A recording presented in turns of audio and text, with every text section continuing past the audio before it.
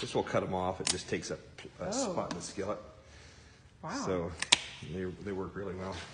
There again, got a lucky rabbit foot for you. You can take this back to California with you if you like.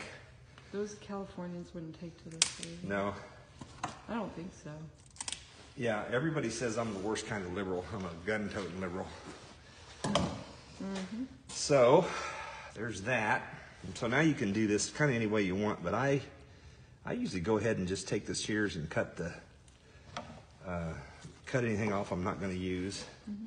Like this, when it's just mostly skin and not meat. This is a really nice rabbit. This, this particular, like these legs are very meaty. See, they're big. But that's another thing. These shears do good for you, well for you. It's easier than using a knife, actually. And once you put it in a air fryer or whatever you cook with, you'll never know. You'll never know that it was cut off this way.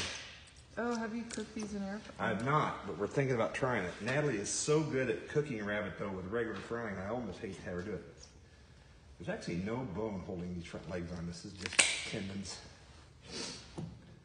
So it's a real nice. It's a, just a really good tasting animal. It is really not a very you know people use the word gamey. Mm-hmm. It doesn't have much of a wild flavor. Isn't it like a tough, pretty tough? It's not particularly tough. Most wild game is tough. I go ahead and cut this neck off because the dogs like to eat it. So I'm saving my little pile here for the dogs for, we call that McDonald's for them. It's, uh, it is, they absolutely go crazy for it. And now we're gonna hope there's another in organ.